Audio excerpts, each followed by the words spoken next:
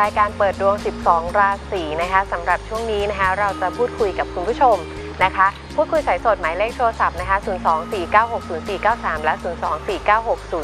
024960494 ค่ะจ้ะ SMS ก็พิมพ์ PD นะคะ ตามด้วยวันเดือนปีเกิด แล้วอย่าลืมเวลาเกิดนะคะ ข้อความที่ต้องการจะถาม 4221606 แพรดูนะค่ะอ่าบาย SMS เมื่อสักครู่เนี่ยเห็นไหมสี่สองสองหนึ่งหกศูนย์หกนี่นี่นะดูนะค่ะ ถ้าเป็นเลขแปดเนี่ยนะ มันจะมีอยู่สองมันจะมีอยู่สองวงแพรจะมีปัญหากับเลขแปดกับเลขหกนะครับไม่ใช่แค่รายการนี้นะคะแต่ทุกรายการอะว่ากันครับไม่เป็นไรวันนี้อาจารย์พรพดพร้อมจะช่วยเหลือครับแพรเสมออะจะเริ่มกันเลยครับมาต่อไปสมัยคุณผู้ชมค่ะ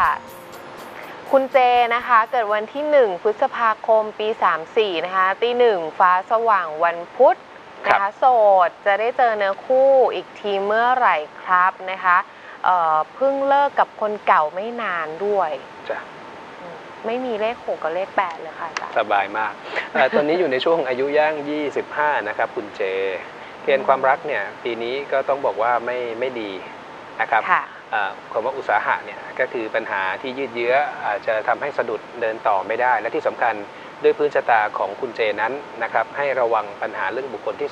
3 มาเกี่ยวข้อง ไม่ต้องรีบครับ ในช่วงเวลานี้ถึงจะมีเข้ามาก็อย่างที่ผมเรียนนะนะดูให้ดีว่ามีเจ้าของหรือไม่ถามว่ามีโอกาสได้อืมเจอไหมตอบว่ามีแต่นะอย่างสำคัญค่ะดูให้ดีๆนะครับนะคะ ท่านต่อไปค่ะ คุณสมปองนะคะเกิดวันอาทิตย์ที่ 23 สิงหาคม ปี 07 เวลาตีสองนะคะ ถามความรักเหมือนกันเลย ตอนนี้จะมีเข้ามาไหมแล้วมีโชคลาภไหมค่ะ นี่หนักเลยฮะ นี่ปัตตานีกาลีอยู่เฉยๆดีกว่า โอ้หนักกว่าท่านเมื่อกี้เหรอคะ ใช่ครับเกณฑ์ความรักปีนี้ไม่ค่อยดีอืม นะแล้วมันก็เพิ่งผ่านเข้าช่วงอายุย่าง 52 เว้นแต่ว่าค่ะ คนที่เข้ามานั้นจะเป็นคนที่มีตำหนิของคุณอย่างเงื่อนไขเดียวเลยนะ จะต้องอาได้เจอเจอคนที่เขาผ่านการใช้ชีวิตคู่มาแล้ว จึงจะอยู่กันได้อย่างสมรูป ปีนี้หมันค่ะถวายของที่เป็นอืมคู่นะ เน้นเป็นพวกเชิงเทียนก็ได้นะครับค่ะ มีโชคลาภไหมคะช่วงนี้ ในแง่ของการเสี่ยงโชคไม่เชียร์เลยจ้ะนะท่านต่อไปค่ะเอ่อคุณคามดามดาอ้าวเกิดวันที่ 6 กรกฎาคมปี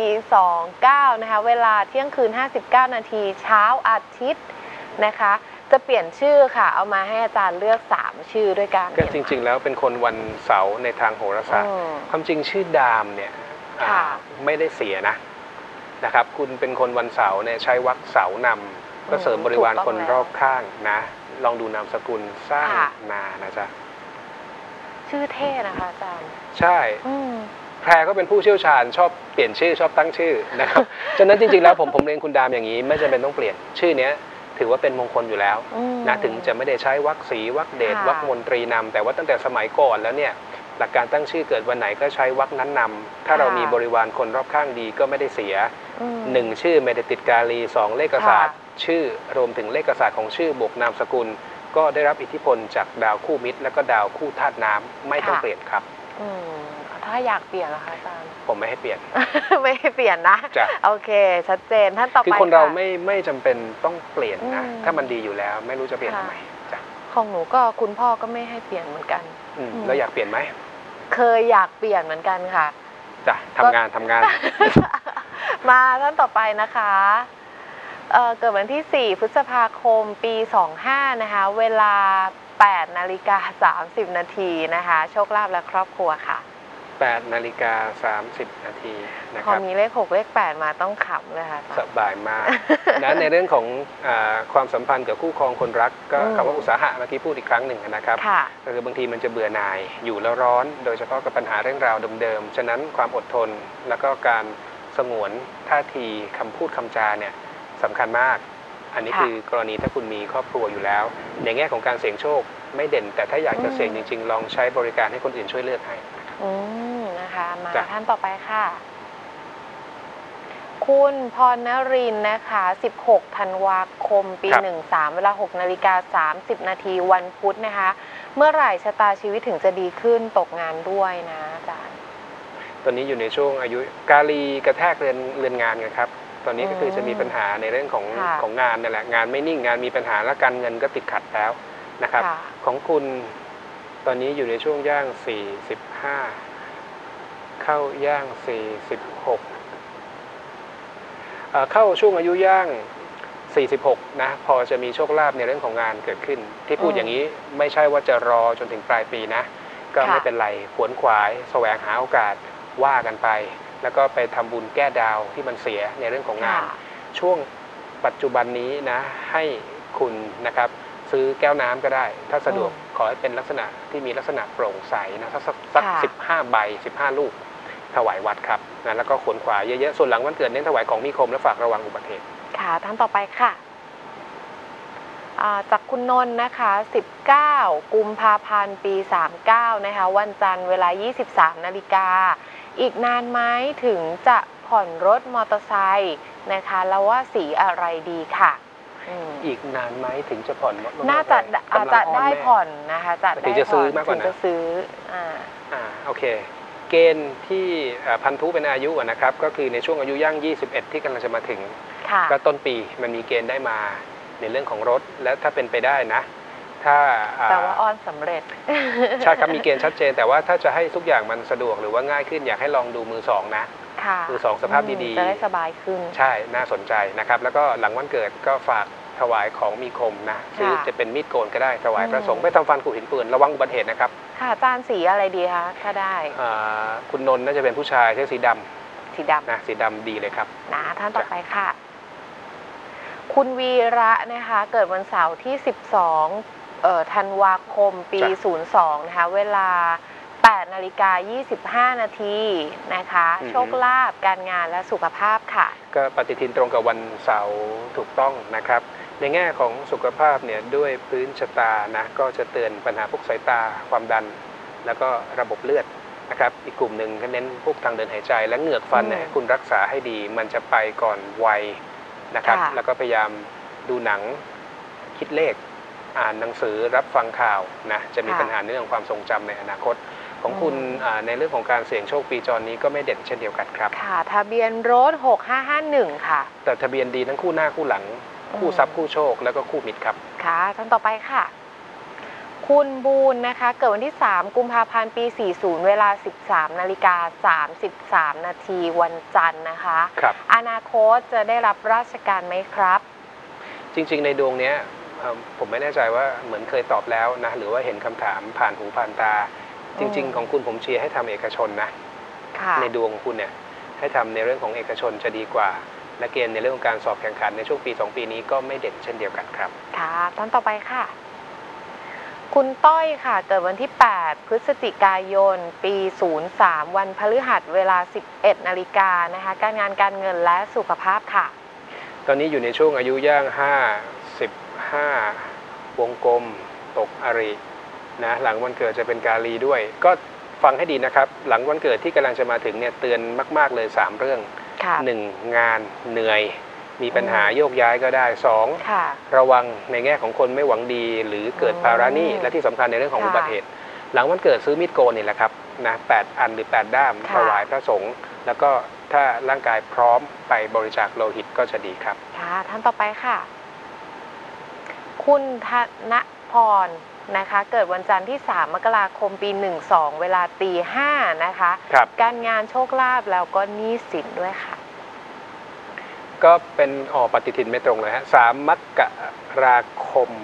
2512 ในปฏิทินตรงกับวันศุกร์ อันนี้ค่ะ ห่างกันหลายวันเดี๋ยวรบกวนตรวจสอบอีกครั้งหนะนึ่งงั้นดูทะเบียนรถให้นะคะ จ้ะ 3744 ค่ะ อังคารเสาร์เป็นคู่แตกหักทะเลาะวิวาทอุบัติเหตุนะ44เนี่ยเขาบอกว่าระวังจะทำบุญกับคนไม่ขึ้น อันนี้ชนะพระพุทธมนต์บริกรรมคาถาชินบัญชรและแตะไปที่เลขเจ็ด ค่ะ ท่านต่อไปค่ะ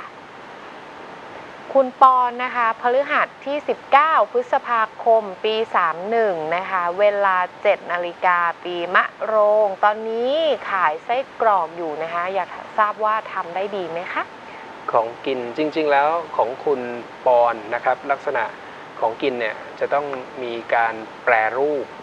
นะค่ะอ่ายกตัวอย่างคำว่าแปรรูปที่ชัดเจน อย่างเช่น พวกหมักดอง ฉาบ กวน กระป๋องแช่แข็ง นะไส้กรอกผมว่ายังยังไม่ได้อยู่ในลักษณะอืมอ่านิยามของค่ะการแปรรูปที่ชัดเจนอย่างปลาร้าอย่างเงี้ยอย่างเงี้ยอย่างเงี้ยก็ใช่มอันนี้ฝากฝากเป็นการบ้านหานะมาครับขายเพิ่มก็ได้เนอะคู่จ้ะกันนะคะท่านต่อไปค่ะเอ่อคุณไก่อะคะไก่ป่าด้วยครับ คุณไก่ป่าด้วยนะคะ โอ้โหครับอะ 19 กุมภาพันธ์ ปี 36 นะคะ เวลา 20 นาฬิกา 57 นาทีตรงกับวันศุกร์นะคะ มีแนวโน้มจะย้ายการงานไหมคะ แล้วความรักเป็นอย่างไรบ้าง ในเรื่องของการโยกย้ายอะอืมฟังให้ดี อายุหินะ ก็มีเกณฑ์ที่จะโยกย้ายเปลี่ยนแปลง และเป็นลักษณะ ถ้าถ้าได้ย้ายได้เปลี่ยนก็ต้องบอกว่าเปลี่ยนในทางที่ดีขึ้นด้วยนะครับ ค่ะ แต่ความรักไม่ไม่ไม่ค่อยดีอืม นะถ้ามีคู่ประคับประคองให้คุณไก่ป่าอยู่ห่างๆหรืออาหลีกเลี่ยงการประทะในทางกลับกันถ้ายังโสดไม่ต้องรีบ การทำบุญเสริมในช่วงช่วงนี้นะครับ ก็ของคุณพยายามทำทานกับเด็กเล็กๆนะเด็กอนาถาเด็กได้โอกาสได้ทั้งนั้นครับค่ะอะช่วงนี้มีสายจากคุณผู้ชมทางบ้านนะคะ สวัสดีค่ะ สวัสดีค่ะ สวัสดีค่ะครับ คุณอะไรคะ คุณเจนิตาค่ะ คุณโอเค เจนิตาจ้ะอ่าฮะวันเดือนปีเกิดจ้า วันที่หกเดือนสิบสองสองพันห้าร้อยสิบเจ็ดค่ะ วันที่เท่าไหร่ครับ วันที่หกค่ะหกธันวา12 2517 นะคะ จ้ะเวลาค่ะ เวลาประมาณสี่ทุ่มค่ะสี่ทุ่ม ตอนนี้ปีอยู่ขานค่ะ จ้ะปีขานถูกต้อง ตอนนี้อยู่ในช่วงอายุย่างสี่สี่สิบเอ็ดถูกไหมครับค่ะ นะตอนนี้เนี่ยที่เห็นในดวงนะครับอริอุตสาหะแล้วก็ดาวการเงินเป็นกาลี ตอนนี้มีปัญหาสภาพคล่องพอสมควรเลยใช่ไหมครับ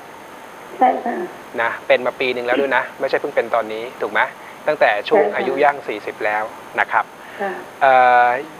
ตอนนี้แต่ว่าในดวงชะตาเรื่องเงินน่ะไม่ดีเห็นชัด 2 ปี แต่ในดวงชะตาบอกว่า โดยเฉพาะช่วงใกล้ ๆ ปลายปีนี้นะ จะมีข่าวคราวดีๆ ที่เกี่ยวข้องกับเรื่องของงาน ตอนนี้ทำงานหรือยัง ยังค่ะ หางานไหม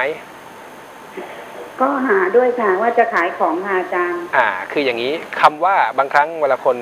ถามเข้ามาทาง SMS หรือว่าทางคุยสายเนี่ยค่ะอ่าบางทีบอกว่าหางานยังไม่ได้งาน แต่บางครั้งการเริ่มต้นทำธุรกิจ ก็ถือว่าอืมเป็นการแสวงหาโอกาสเช่นเดียวกันของคุณปีเนี้ยยังไงก็ได้ทำอืมยืนยันว่ายังไงก็ได้เริ่มนะฮะค่ะได้เริ่มเอ่อจะทำเกี่ยวกับอะไรอะที่มองไว้จะได้ดูว่ามันฉลกไหม ก็คือขายผลไม้อะไรเงี้ยขายอะไรก็ได้ค่ะ แบบเป็นแบบค้าขายเงี้ยค่ะอืมอืมผลไม้จริง ๆ ไม่เชียร์นะ ของคุณฝากค่ะกลุ่มที่เด่นไว้พิจารณานะครับค่ะของคุณถ้าเป็นอ่าเกี่ยวข้องกับสุขภาพอะอย่างสมมติพวกน้ำสมุนไพรอืมนะครับอืมพวกอ่าพวกยาพวกค่ะวิตามินอะไรพวกเนี้ยหรือว่าอาหารเสริมต่างๆ ใช่นะคะชัดเจนว่าเกี่ยวข้องกับเรื่องของสุขภาพค่ะนะครับ แล้วก็อีกกลุ่มหนึ่ง อันนี้ถ้ามีทำเลหน้าโรงเรียนก็น่าสนใจ พวกขายเครื่องเขียนอุปกรณ์การเรียนพวกเนี้ยค่ะ ค่ะอันนี้ฝากไว้พิจารณาของกินไม่เด่น แต่ถ้าอยากทำจริง ๆ จะต้องมีการจร มีการเดินทางอาจจะเป็นอ่ารถกับข้าวอะไรพวกเนี้ยหรือว่ารถเข็นเข็นไปผลไม้ขายมอไซค์ไปขายอย่างใช่นี้ใช่ไหมคะอันนี้คือพอได้ ถ้าถ้าอยากทำแต่ถามว่าอืมเด่นสู้สองกลุ่มแรกได้หรือเปล่าตอบว่าไม่ใช่ อืม อ๋อค่ะ ก็ใช่ค่ะคือจะแบบใส่รถอะใส่รถ คือแบบไปขายจอดขายเป็นแบบที่ที่เป็นที่ตรงตรงนี้บ้างตรงนี้บ้างอะไรเงี้ยคือแบบเป็นเอาเอาดวงของแฟนนะคะจ้ะอืมแต่อย่างที่เรียนนะค่สำหรับของคุณเองเนี่ยถ้าร่างกายถ้าร่างกายไหวนะไปเรียนก็ได้นะไปเรียนนวดแผนไทยก็ได้ ตัวคุณนะค่ะอืมน่าค่ะสนใจนะ เพราะว่าหนึ่งเราไม่ต้องลงทุนลงเงินนึกออกไหมฮะไปเรียนและใช้ลงแรงค่ะอืมจากตัวเรานี่แหละ ใช่ครับ อืมอันนี้ดีและดีด้วยนะชอบในระยะนยาวดค่ะ ชอบนวดนนะวดบ่อย ครับอืม ก็อันนี้เด่นกว่าจริง ๆ แล้วแอบเชียร์นะเรื่องผลไม้ไม่ไม่ถึงจะจรจริง ๆ ก็ดูแล้วจะไม่ไหวในระยะยาว ค่ะค่ะ จ้ะแล้วแล้วอย่างเอ่อค้าของเก่าสมมติว่าเก็บของเก่ารับซื้อของเก่าเนี่ยค่ะ สมมติกระดาษขวดอะไรเงี้ยก็ทำหรือยังอะต้องถามว่าเคยทำหรือยัง ยังค่ะ แต่แบบจะลองทำอะไรเงี้ยก็คือจะเก็บไปด้วยก็อะไรไปด้วยก็มันได้เงินดีเต็มอะไรเงี้ยค่ะ เต็มที่ก็เป็นแค่ค่าขนมฮะรายได้เสริมใช่ไม่เด่นยืนยันค่ะ ค่ะ ยืนยันว่าไม่เด่น ลองดูกลุ่มที่ค่ะเด่นฝากไว้เป็นการบ้าน จากนี้ไปจนถึงช่วงปลายปีเนี่ยถ้าคุณตั้งใจคุณได้เริ่มแน่อืมค่ะ ๆนะในเรื่องของงานแล้ว จ้ะอ่า แล้วดวงนี้คือจะบูชาอะไรดีคะ คือแบบเสริมดวงอะไรดีคะ ของคุณในแง่ของพระเคราะห์ที่เข้าเสวยอายุเนี่ยตามหลักมหาทักษะก็ช่วงนี้จันทร์เสวยจนถึงย่าง 42 นะครับ ก็ควรที่จะไปเช่าดูจังหวัดไหนครับ อยู่เอ่อจริง ๆ คืออยู่นครสวรรค์ค่ะ แล้วทีนี้ย้ายไปอยู่เอ่อบ้านแฟงเลยค่ะ คือย้ายอยู่จังหวัดแพร่ค่ะอนะอืมก็ไม่เป็นไรถ้างั้นเอาวัดใกล้บ้านก็ได้นะเป็นพระปางห้ามญาติพระปางจ้ะก็ก็จะลักษณะที่ว่าเป็นประทับยืนนะนะครับ แล้วก็ชูมือขวาขึ้นอืมนะก็แล้วก็บริกรรมคาถาทุกวันบูชาพระปางห้ามญาติเนี่ยพระประจำวันจันทร์ วันละ15จบ อิระชาคตะราสาค่ะค่ะของนะครับเป็นของวันจันทร์ใช่เพราะจันทร์เสวยอยู่และในแง่ของการทำมาค้าขายก็ควรที่จะหาเป็นเป็นรูปก็ได้นะครับ หรือว่าอ่าอ่าของหลวงพ่อสดนะเป็นรูปหรือว่าจะเป็นเป็นองค์พระพิสุสงฆ์บูชาที่ทำเป็นให้บูชาค่ะนะหลวงพ่อสดแล้วก็อ่าบริกรรมคาถาสัมมาอรหังทุกวันนะค้าขายดีครับอืมค่ะนะ แล้วอย่างนี้ปิ่นอะไรนี่ก็คือแบบอีกนานไหมคะโอ้มันมันมันมันผ่านมาแล้วปีกว่า นึกออกไหมค่ะอย่างที่ผมบอกคุณเริ่มเซมาตั้งแต่ช่วงย่าง 40 41 พอเข้าย่าง 42 ไปแล้วเบาลง เพราะมันจะได้ทำงานอืมเพราะมันอ๋อค่ะในดวงชะตาบอกว่ามีรายได้เข้ามาใช่กำลังจะได้ทำงานครับค่ะอ๋อค่ะ คือแล้วอีกคนอีกค่ะ แล้วสุขภาพอะไรนี่ก็คือไม่ สุขภาพสุขภาพของค่ะคุณเนี่ยสุขภาพก็ฝากระวังเกี่ยวข้องกับพวกระบบเลือดนะไปเช็คพวกไขมันดูหน่อยนะอืมไขมันในเส้นเลือดนะครับแล้วก็อีกกลุ่มหนึ่งก็จะเตือนพวกความดันสายตา อีกกลุ่มหนึ่งจะเป็นพวกอ่าภูมิแพ้นะแล้วก็พวกไขข้อ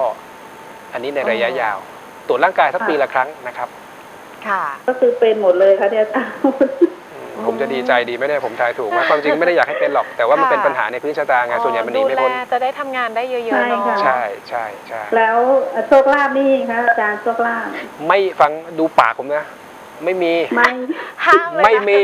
หาเงินก่อนทำงานดีกใช่ว่าทำจริง ๆ คุณคือคนเราจะดีขึ้นได้เราต้องลงมือปฏิบัติ และค่ะปีนี้ที่พูดเน้นย้ำเพราะว่าในดวงชะตาทั้งค่ะกรรมะทั้งปุตตะมันเป็นสี คุณจะต้องได้ทำถ้าคุณตั้งใจอืมค่ะแล้วคือ ตอนนี้คือมีปัญหาอีกอย่างหนึงค่ะใหญ่มากเลยค่ะคือค่ะคือเรื่องรถอะค่ะรถก็คือเราไปจำนำทั้งรถเลยทีนี้เรากำลังหาเงินถ่ายอยู่มันไม่พอค่ะอาจารย์จะได้คืนไหมคะอืมอืมเอาอย่างนี้ ก็ผมใช้คำว่าน่าเป็นห่วงแล้วกัน นะน่าเป็นห่วงจะหลุดมีโอกาสหลุดนะครับ แต่ฉะนั้นประเด็นสำคัญคือตัวนี้คุณต้องพยายามหางานทำให้ได้เร็วที่สุดอืมค่ะนะเพราะไม่อย่างนั้นหลุดแน่ครับ แล้วเบอร์โทรนะ เบอร์อะไรครับหกคุณเก้าหนึ่งอ่าเบอร์โทรเป็นมงคลอยู่แล้วฮะเป็นเลขแห่งความสำเร็จดีอยู่แล้วครับอืมห้าสองสี่ค่ะอ่าเป็นคู่มิตรผ่านบ้านเลขที่ห้าสิบสองค่ะ ก็มีหลักฐานความมั่นคงนะ ดีหมดเลยอะเถียงทะเลาะกันบ้างไม่มีอะไร แต่ก็ยังแข็งแรงอ๋อนะคะจ้ะอืมแล้วก็ทะเบียนรถค่ะสามห้าสองห้าสองเป็นดาวคู่ธาตุดินเลขสามก็ความขยันหมันเพียรในเลขในส่วนของเลขไม่ได้ให้โทษ แต่ว่าในดวงมันเสียเรื่องเงินไงอืมันเลยเป็นปัญหาใหญ่มาสองปี ค่ะทำเจ็ดงานเก้าทำศูงานนย์ค่ะ 790 ก็อันนี้คือยังดีฮะที่จับคู่กับพระเกตก็หมายถึงในเรื่องของความคิดอ่านที่สร้างสรรค์ มีสิ่งศักดิ์สิทธิ์คุ้มครองแต่เลขเจ็ดเนี่ยใช้น้ำพระพุทธมนต์นำมาบริกรรมคาถาชินบัญชรและตั้งจิตอธิษฐานดีๆนะครับ ขออำนาจพระพุทธคุณ พระธรรมคุณ พระสังฆคุณ ปัดเป่าอิทธิพลของดาวที่ไม่ดีแตะไปที่เลขเจ็ดนั่นแหละ อืมแล้วก็ทะเบียนรถเนี่ยราคาที่ว่าสี่ห้าเจ็ดห้าเนี่ยค่ะอืม ก็เลขเจ็ดเนี่ยระทมทุกข์นะโทษทุกข์สาวโรคประสาทก็ได้นะแตะที่เลขเจ็ดทั้งคู่ครับค่ะ อืมเนาะ อะเป็นกำลังใจให้นะไป แล้วก็ปีนี้อ่าหาโอกาสทำทานกับเด็กเล็ก ๆ นะครับค่ะ ค่ะ ค่ะ ก็รักษาขอบสุคุขณภาพค่ะด้วยนะคะ จ้า ขอบคุณค่ะอาจารย์ สวัสดีค่ะ ค่ะ สวัสดีครับ ค่ะ โอ้ รถหลายคันเหมือนกันนะเนี่ยนี่มันมันเลยมีโอกาสหลุดไงเพราะภาระมันเยอะอะสู้ๆนะคะเป็นกำลังจ้ะใจให้ท่านอื่น ๆด้วยเนาะเอามาครับต่อที่ SMS นะคะอ่าท่านนี้ถามเบอร์โทร 1004 ค่ะ คือในแง่ของภัยอาเพศความพลิกผันนั่นคือดาวมฤตยูนะถึงจะจับกับพุทธก็เถอะมีความคิดสร้างสรรค์ในเรื่องของการทำมาค้าขายอืมแต่เวลาทายก็จะทายในแง่ของคอนเซอร์เวทีฟไว้ก่อนนะครับค่ะก็จริงๆแล้วขยับเป็น 1 4 ก็ได้ฮะจักรพรรดิบ่งบอกถึงเกียรติยศชื่อเสียงความเป็นผู้นำค่ะท่านต่อไปค่ะ คุณเอกลักษณ์นะคะ เกิดวันเสาร์ที่ 16 มกราคม ปี 31 เวลา 3 นาฬิกา 33 นาทีนะคะ ครับ สิ้นปีนี้จะบวชดีไหมครับอืมเอ่อสิ้นปีอ่าความจริง คืออย่างนี้ก็โมทนาล่วงหน้าค่ะนะครับ คือความจริงอ่าจะบวชถ้าเราตั้งใจมันดีอยู่แล้ว แต่ผมพูดอยู่เสมอ เราควรจะบวชเมื่อเราพร้อมอืม คือหมายถึงว่าไม่ได้ติดกิจธุระเรื่องงานค่ะหรือมีเรื่องราวไม่ต้องให้เป็นห่วงสบายใช่อ่เราเวลาในการบวชจะมีมากมีน้อย ไม่ได้สำคัญเท่าค่ะจิตใจที่มีความพร้อม ฉะนั้นถ้าคิดว่าตัวเองอ่าไม่ได้มีอะไรที่เป็นภาระหรือมีความห่วงใย ก็ปีนี้ก็บวชได้นะครับ แล้วก็ผมเชื่อว่าหลายคนที่อยู่รอบข้างเขาก็อยากจะให้คุณบวชอืมจะช่วยเหลือจะมีค่ะโอกาส แม้แม้กระทั่งถ้าจำเป็นจะต้องใช้เงินในการในการบวช วิ่งเต้นเข้าหาผู้หลักผู้ใหญ่ ท่านก็พร้อมอืมมีที่คนจะช่ช่ววยยเหเหลืลืออใช่นะบางครั้งสบายแค่มากโกนหัวเข้าวัดก็ได้ ขอให้ตั้งใจแล้วคุณจะค่ะทำสำเร็จนะครับค่ะ ท่านต่อไปค่ะ คุณกุ้งนะคะ เกิดวันเสาร์ที่ 8 กรกฎาคมเก้าเก้ากรกฎาคม เลขกลมๆอะอาจารย์แต่เก่งมากเลขศูนย์9กรกฎาคมปี 20 นะคะ ปีมะเสงเวลา 17 นาฬิกา โชคลาภนะคะ แล้วก็เนื้อคู่เนี่ยเมื่อไหร่ถึงจะเจอคะจ้ะ ปฏิทินตรงกับวันเสาร์นะครับค่ะนอกจากเปลี่ยนชื่อให้คุณผู้ชมแล้วยังเปลี่ยนวันเกิดให้ด้วยวันนี้ถ้าเกิดผมถ่ายใครไม่แม่นเดี๋ยวโทษแปลนะเอ่อในเรื่องของความรักเนื้อคู่ความจริงช่วงช่วงที่ผ่านมาไม่ค่อยดีเลยนะครับ ในเรื่องของความรักช่วงย่าง 38เดี๋ยวมีปัญหามีการเลิกราหรือเปล่าค่ะนะครับตอนนี้เข้าย่าง 39 ก็ยังไม่เด่นเกณฑ์รักใหม่ก็ไม่ค่อยดี ไม่ต้องรีบ และดวงนี้ต้องบอกว่าอ่าแต่งยิ่งช้ายิ่งดี นะครับแล้วก็มีความเป็นไปได้สูงครับ ที่คุณจะได้คนที่สูงวัยกว่าคุณพอสมควรค่ะนะเกณฑ์ความรักก็ปีนี้ถึงจะมีเข้ามาก็ไม่ต้องรีบคบเป็นค่ะเพื่อนไปก่อนนะครับส่วนในแง่ของการเสี่ยงโชคก็ไม่เด่นค่ะท่านต่อไปค่ะ คุณกันนิกาค่ะ 16 พฤศจิกายน ปี 40 วันอาทิตย์เวลาตีสี่นะคะ ภาพรวมของดวงแล้วก็จะได้แต่งงานไหมจ้ะ วันนี้คนมาในเรื่องของเนื้อคู่ความรักก็รู้ว่าเยอะมพิธีกรเลยชอบไงว้ายไม่เกี่ยวกับพิธีกรชอบเรื่องพวกนี้ ไม่เกี่ยวเลยอะ16 พฤศจิกา 40 ปฏิทินอ่าตรงกับวันอาทิตย์ถูกต้อง แต่ในทางโหราศาสตร์ ถือว่าเป็นคนวันเสาร์นะครับอืมจะได้แต่งงานไหมพุธเป็นกาลีไม่แปลกที่ถาม คืออย่างนี้ฟังให้ดีเกณฑ์ความรักอ่าไม่ดีนะค่ะแล้วก็ที่สำคัญหนูตอนนี้เพิ่ง 17 นะคะอืมนะครับ ฉะนั้นไม่ต้องรีบ ยิ่งเกณฑ์เป็นแบบนี้ยิ่งต้องใช้เวลาค่ะดูนานๆนะครับใจเย็นๆใช่รักษาเนื้อรักษาตัวและที่สำคัญในช่วงปีจร 19 ที่กำลังจะมาถึงเนี่ยถึงมีเข้ามาก็ไม่ดีค่ะโอกาสผิดหวังเสียใจมีอีก ของหนูอืมอย่างที่เรียนหนึ่งดูนานๆ และอันที่สองค่ะคู่จริง ๆ คบกันแบบมีระยะห่างเช่นทำงานคนละจังหวัด ไม่ได้ใช้ชีวิตอยู่ใกล้ชิดกันเหมือนคู่รักปกติ และอีกประเด็นก็คือเป็นเงื่อนไขหรือนะครับอืมคุณจะต้องได้คู่ที่มีตำหนิ ของหนูเกณฑ์จะเด่นจริงๆอ่า23 อายุยากค่อยว่ากันอุ้ยอีก 5 ปีนานนะคะช่วงนี้กำลังอยู่ในช่วงวัยวาวุ่นอยู่ เข้าใจวัยนี้ก็จะคิดแต่เรื่องนี้ใช่บางคนนะอายุเยอะแล้วก็ยังคิดเรื่องนี้อยู่หนูโดนตลอดเลยวันเนี้ยจ้ะอะอาจารย์พงพกอะมาต่อกันดีกว่าศาสตร์จีนอะ ต้อนรับศาสตร์จีนท่านต่อไปนะคะ คุณอัมภัยเกิดวันอังคารอ่าถามเบอร์โทรนะคะ 781 ค่ะ 781 ราหูทำลายอาทิตย์ครับ ก็ค่ะอ่าอยู่ไม่ติดที่ชีพจรอืมลงเท้า สายตาความดันระบบเลือดก็ได้ ฉะนั้นเบอร์โทรเนี่ยเปลี่ยนเถอะครับนะค่ะใช้กลางๆอ่าเป็นคู่มิตรดีกว่านะ63 ค่ะจ้ะทะเบียนรถ 3167 ค่ะ อาทิตย์ผิดอังคารศุกร์กับเสาร์เป็นเส้นศัตรูความหมายคือคู่ศัตรูทั้งหมด ฉะนั้นอันนี้ใช้น้ำพระพุทธมนต์นะบริกรรมคาถาชินบัญชรแตะที่เลขหนึ่งกับเลขเจ็ดครับอืมนะอะเดี๋ยวช่วงนี้ไปพักก่อนสักครู่นะคะ ช่วงหน้าพูดคุยสายสดนะคะ 024960493 และ 024960494 นะคะ SMS ก็ PD ค่ะ ตามด้วยวันเดือนปีเกิดเวลาเกิด แล้วก็ข้อความที่ต้องการจะถาม 4221606 ไปพักสักครู่ค่ะ ครับ